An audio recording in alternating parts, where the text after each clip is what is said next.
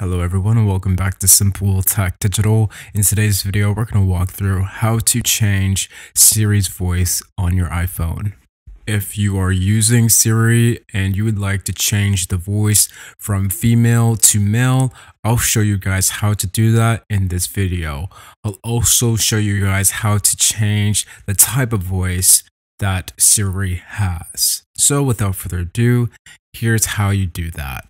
The first thing we want to do is head over to the settings icon and open up the settings app. After you have opened up settings, you'll just want to scroll down until you see Siri in search. You're going to click that. And once you click that, you'll be brought towards the screen right here.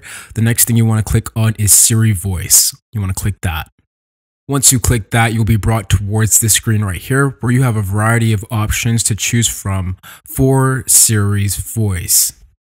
For example, we have American, Australian, we have British, we also have Indian, we have Irish, and we also have South African. So if we click on, for example, Australian, we will get to hear what Siri's voice sounds like in an Australian voice. Hi, I'm Siri. Choose the voice you'd like me to use. And if we click on British, we will get to hear what Siri sounds like in a British voice and so on. You guys get the point.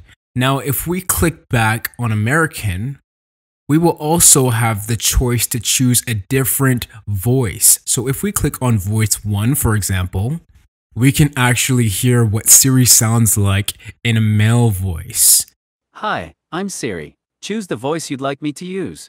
And if we click voice 2, for example, Hi, I'm Siri. Choose the voice you'd like me to use. and we listen to that, we actually get to hear Siri, but in a different voice other than the traditional voices.